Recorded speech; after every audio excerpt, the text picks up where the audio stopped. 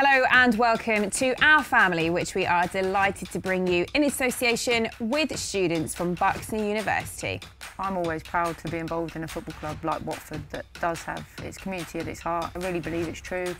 There's a sign at the stadium saying the original family club, and, and again, I believe that fully.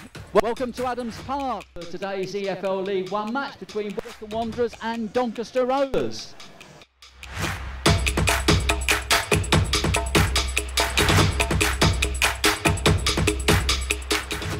Curls it. Nice curling shot, but uh, through safe at the end. The seven minutes of added time has given the Chairboys the lead.